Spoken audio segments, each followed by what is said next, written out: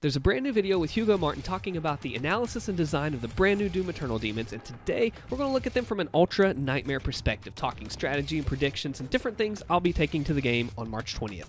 Let's put our thinking cap on, shall we? Not that one. Let's go. Now, although this video is focused on the new enemies, if you'd like one of the old that are addressed in this video, be sure to let me know in the comments below. But first, Whiplash. Man, this AI is uh, a real pain in the ass. I gotta be honest. All right, he starts it off saying, "Hey, this is a real pain. I've got to be honest." So, I have some thoughts and feelings I'd like to talk about how this is going to change it up from 2016 gameplay wise on all levels, including Ultra Nightmare. Let's see what Hugo has to say first. So he, she he so she's actually our first uh, female demon. Hugo, the summoner, and the spider mastermind would like to have a word with you, man. I'm just playing. She, she's not entirely anatomically correct because we want to be able to use her in marketing images. Makes and sense. So like we had to just kind of keep things sort of nondescript. Gosh, look, let's look at this here. Really scary looking eyes.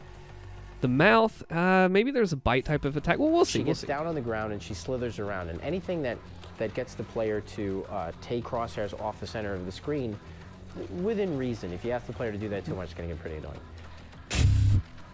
Okay, so that is absolutely true. Let's talk about why. Let me pull up some captions here. All right. In 2016, you have your main weapon rotation that you like to use. I do. It's the rocket, super shotgun, Gauss, and occasionally, if it's a Mancubus, without siege mode especially, the super shotgun. You get in this field, right? You're looking dead ahead, you're shooting in the enemies, you're looking up, down, wherever you're comfortable with, wherever you're aiming at. You're going through your rotation, going through your motions this is going to change that because not only now, like you have said, if you were going to be doing this, you're going to have to look down. You're going to go around. She's going to go around you. Situational awareness is going to be super key here because she's going to elude you from the other enemy. She's going to be a great distracting unit. And especially in Ultra Nightmare, you're going to need to focus and see, hey, where is she going? What is she doing? Let's talk a little bit more about why she's going to be a threat in addition to her movement. When she drops down to the ground, she slithers like a salamander across the That's floor. new. And she tries to actually flank you and get That's behind new. you. Then she'll pop up and rake you with her whips, which is a really devastating attack. Like the summoner. The point of this is because we know one of the, the elements of the fun zone is to get the player to move. Okay, so this is going to be a new movement aspect of the game. It's already showing. I did a video on aerial combat in Doom 2016, how it's going to be so much different, and this is going to even add more to it. Let's let's let's keep on. we know that this will make the player move. Believe me, you're going to track this thing as soon as it comes out. And she pushes the player Hmm, around more okay. than anybody else. And anytime the player's moving like that, it just feels really good. Wow. And you're going to prioritize her, which is another one of the really important things Like you of, said. of the Doom dance that makes it feel really good. So, it sounds like she's going to definitely be a distracting unit and has a summoner-esque wave whip attack around behind you. So you're not only going to be looking at what's in front of you, you're going to be looking at what's behind you and where she's taking you. See, this is what's going to make it key is that you really as he's going to say later, you focus on a main enemy, yes, but you have to have no tunnel vision. Like if I'm watching the screen on 2016, I'm looking off to the side to see what is going on around me. I'm watching that imp in the corner of my monitor. Is he firing up a charge shot? Maybe just a regular shot. It's always keeping that situational awareness active, and even more so in this. And eh, as we talk more about some of the future enemies, it's going to be even more evident of what they have planned. Oh boy. So she slithers across the floor. You're going to track her with your guns. She does kind of make you also use Hmm. This is good. certain weapons because we think Listen of weapons this. like tools. Good. and the AI are kind of like problems, and you want to bring the right tool uh, for the job, so to speak. This is important. Listen. So when she comes up, maybe you're using the shotguns or certain weapons, but you're Yep. definitely probably going to switch to something that's that's good for tracking something Okay. that moves really fast. Okay, like he says there. Usually, the super shotgun is a super versatile weapon in 2016, and you can even with the alt fire button narrow the cone so it is more powerful and has that more narrow scope to shoot down. So, really, this is what they're doing. They're making a change away from relying on that super shotgun to be the main sort of thing. And we've seen this with the Mancubus, we've seen this now with the Whiplash. So, what it looks like is what we're going to have to go Quake Lightning Gun approach. We're going to have to track her with the plasma and try to follow and focus where she is. Something interesting about that, I was in Twitch stream and Clockner, if you're watching this, hey bud, he made a note of the sensitivity with the plasma, so you're going to have to also be cognizant of your aim and where you're taking that plasma, tracking this enemy, and not just using something that's like point and click. Even though this is a point and click adventure, right? So it's important to see what weapons work for the job. And it sounds like we're going to have to be aware of hey, there's a whiplash on the field. This is where we need to go to. This is how we need to prioritize her. And really think about where we're going to go with it. Now, this is really going to make challenge runs interesting because there are different mods and different weapons that have different utilities and functions of these different types of enemies. So if you take those away, you're taking away a key element of the gameplay design to take down these enemies. So this is going to be tough. I, I mean, straight up, this is not going to be easy, and I love it. Let's see what he has to say.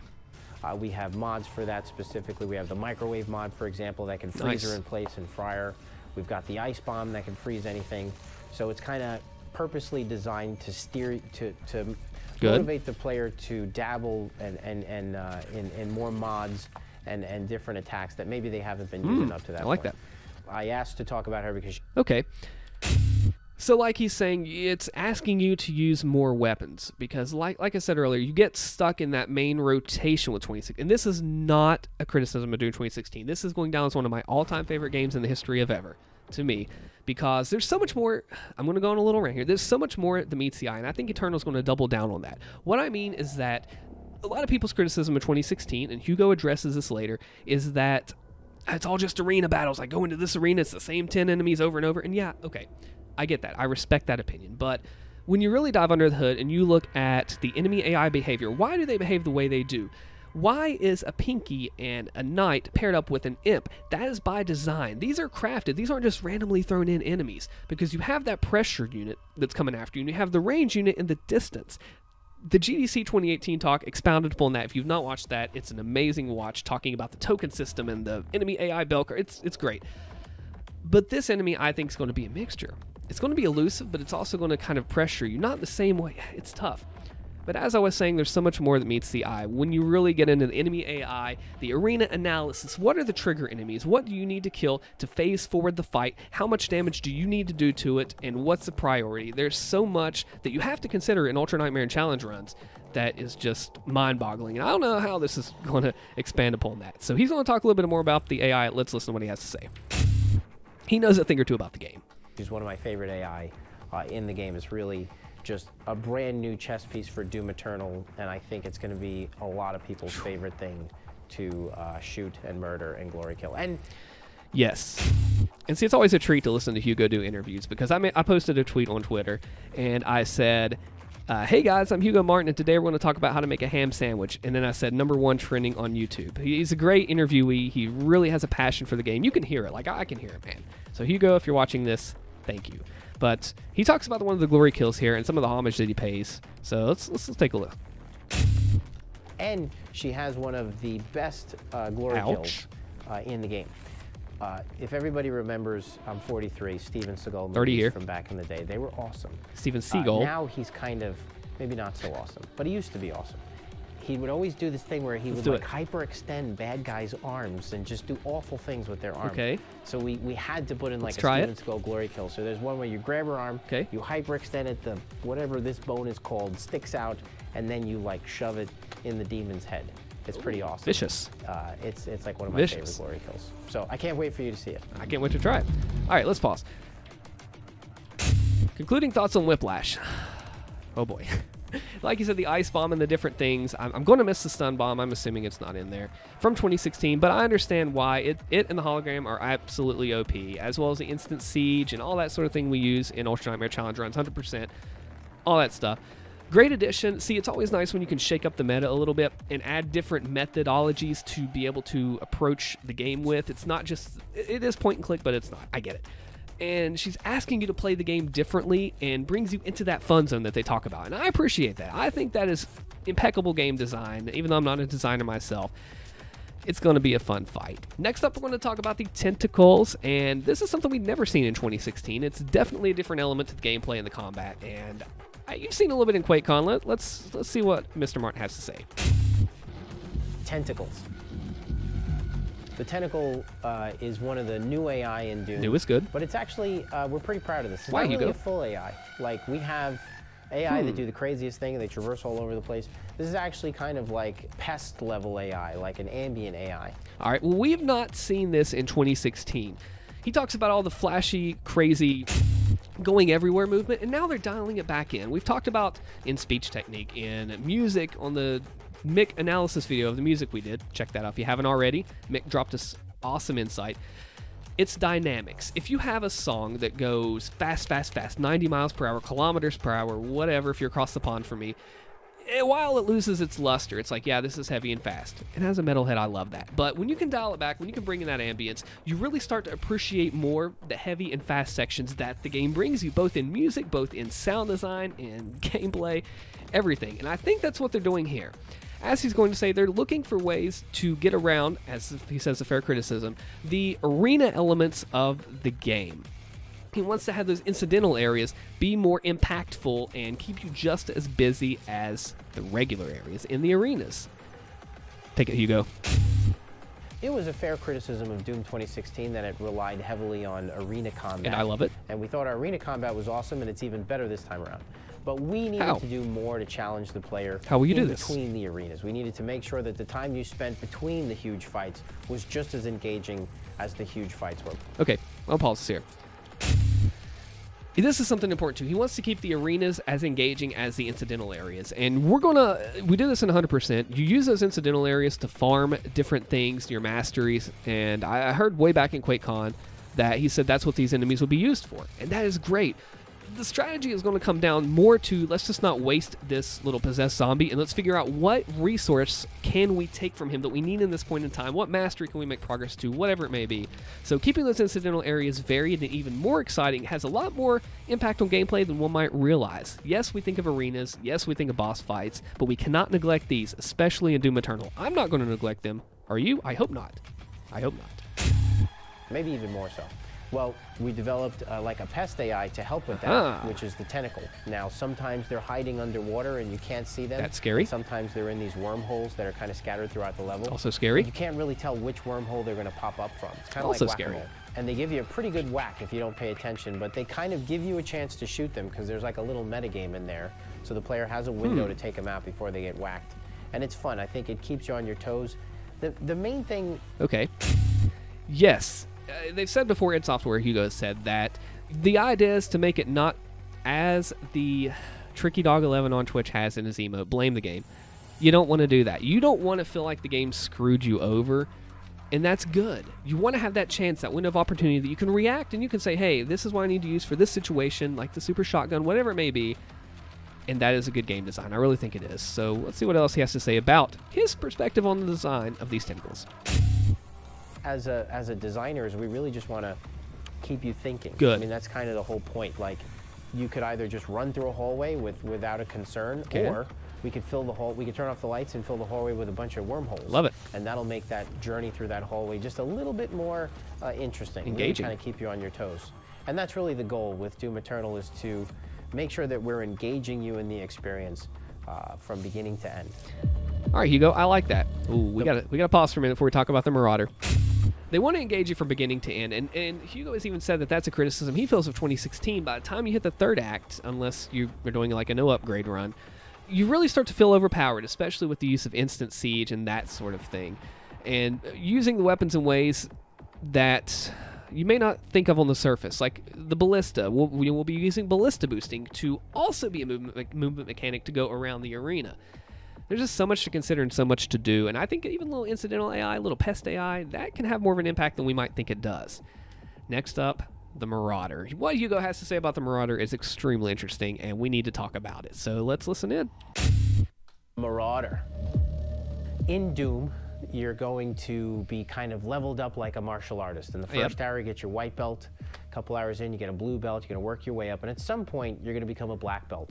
Yep, And when you're the end. there, then the third act of the game, it's more about just showing off just how badass you can be. And the game is kind of Okay, aware that you have it. your black belt, and there is another black belt out there to face you. You are Obi Wan, and this is your Darth Maul, and you guys are going to have this awesome fight. I've never watched Star Wars, but I played some of the games, so yeah, let's do it.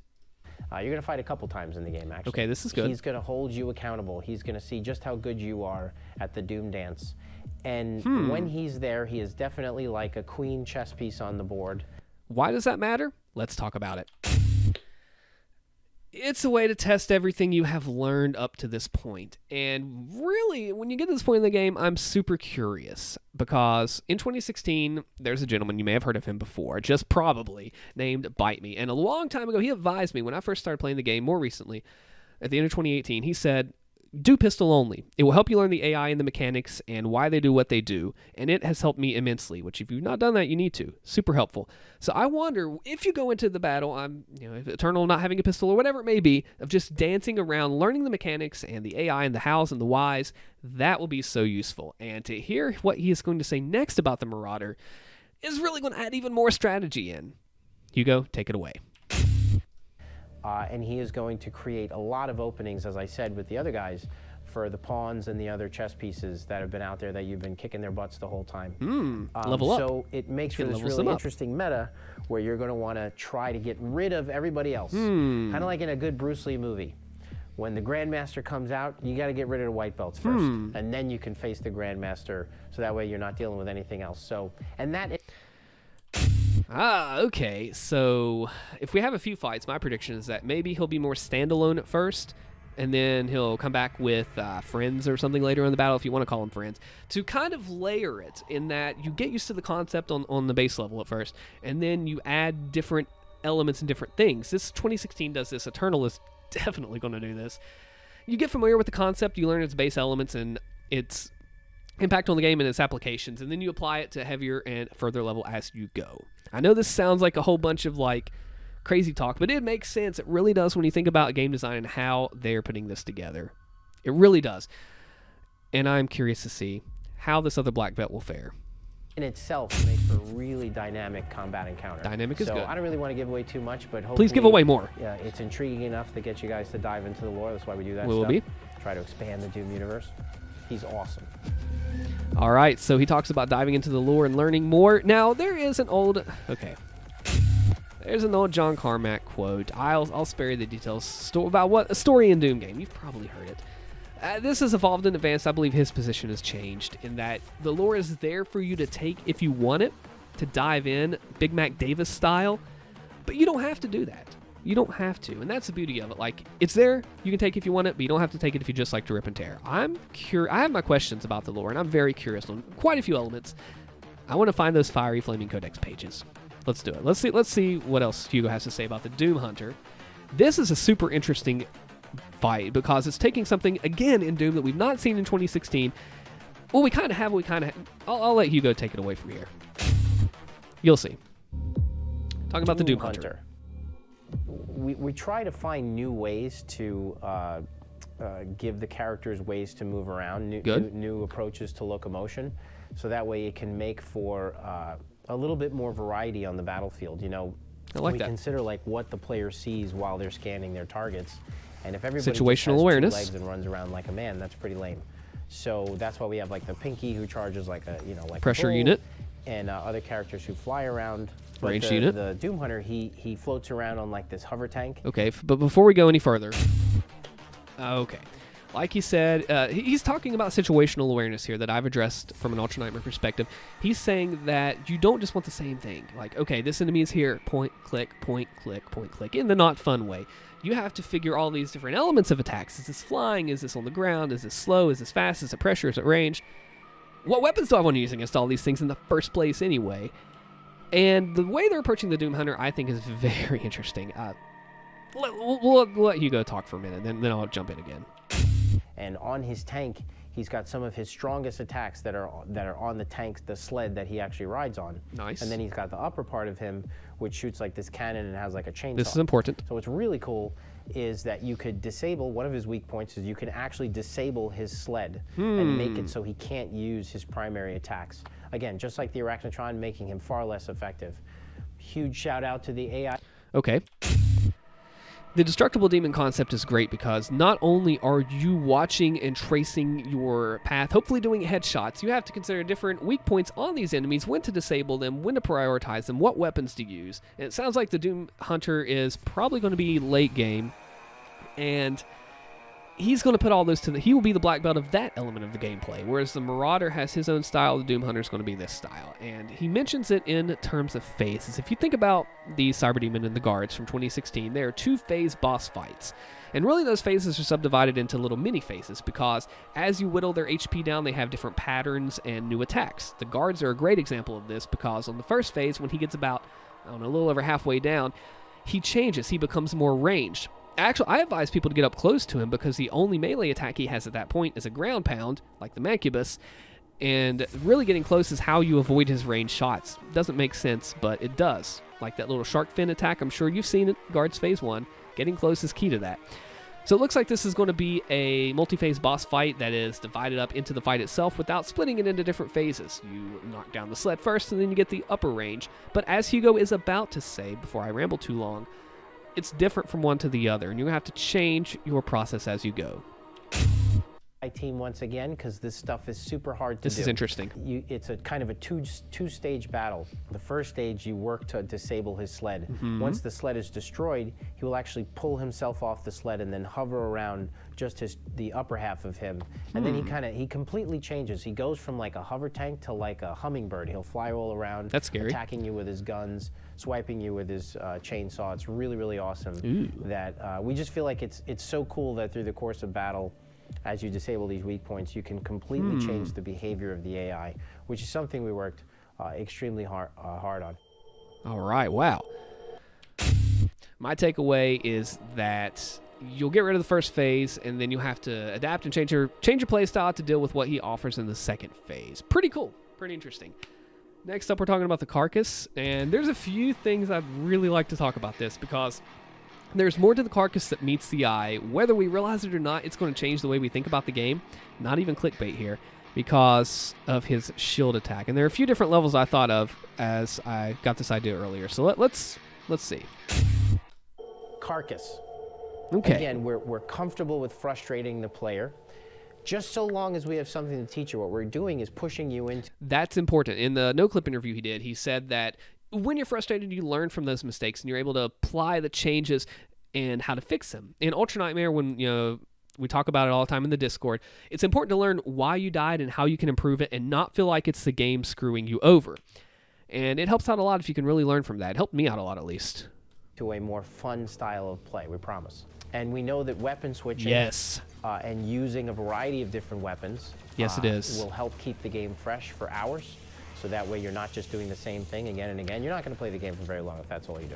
The rocket launch So that's the thing too you want to think about is that the variety is the spice of death, as Doom 2016's achievement, cha- I call it achievements challenge, mission challenge says, and it changes things up. It really makes you think you can't just get in your motions anymore. It's not going to work. It's not going to fly. You're going to die. Sure, this time around is way Here's some- stronger. here's balancing. Messes up tons of dudes. It also does a ton more uh, damage to the player. Self That's damage is interesting. way higher. It's already a lot. Shoots a lot slower. High risk reward uh, gun. Just like Hmm. in the original Doom, you kind of don't want to run around with it like it's a rifle or spam it, um, which is kind of what you could do in 2016, which wasn't awesome. You yes, yes. Okay. Here's here's what I'm thinking about. You have damage per second as a Clash of Clans owner that I am. We look at this stuff there. Damage per second and damage per hit. I'm curious how the DPS has changed. It sounds like it has raised up. Now, damage per second and damage per hit coincide together.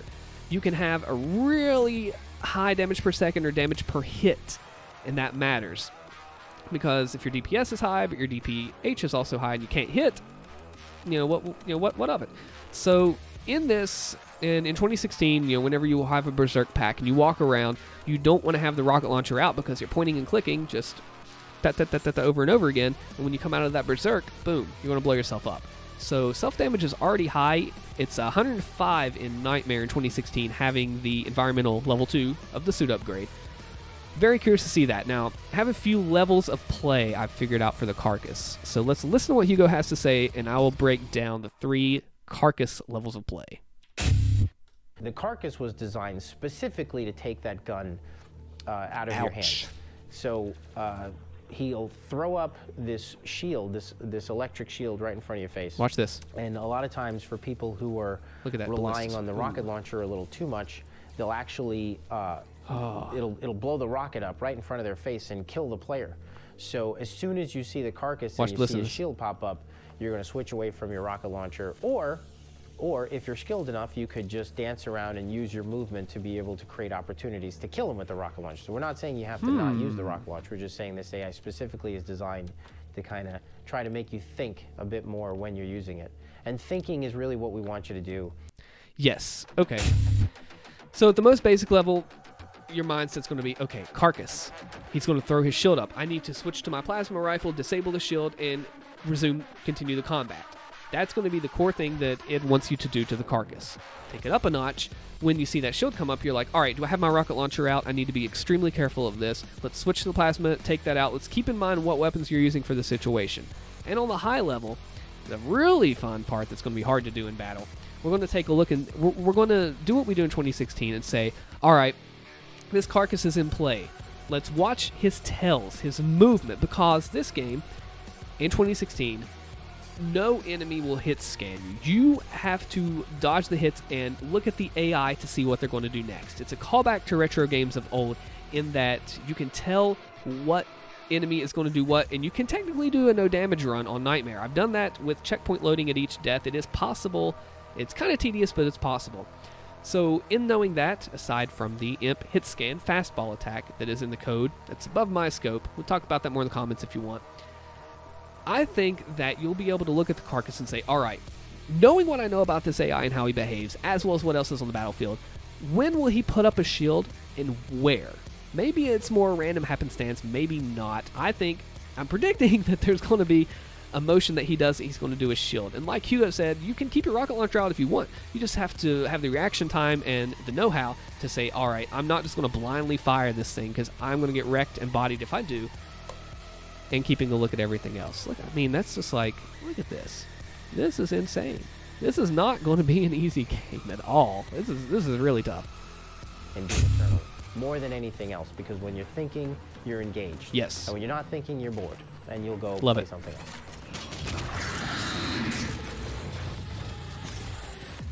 So at this point, man, what do you think about all of these new enemies? Do you want to see a breakdown of the old ones too? Let me just let me know in the comments below. Let me know if you want to see some live gameplay. Follow me over on the Twitch channel. I think there is a lot in store. I'm very curious to actually see what Hugo would say about this video and uh, some of his thoughts on his thoughts on my thoughts. Taking a look from the Ultra Nightmare Challenge perspective. And man, we got a lot in store for us. My name is Austin. Thank you so much for watching. I appreciate all the support on the Twitch, on the YouTube, on the Discord. If you've not seen some of the other videos, I'm going to link up here. Be sure to check them out. Very cool stuff. And I will see you next time.